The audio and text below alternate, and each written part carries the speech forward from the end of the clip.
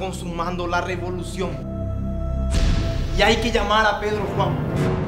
Compañeros, hermanos de leche, hermanos de lucha. Señores, ¿qué pasa?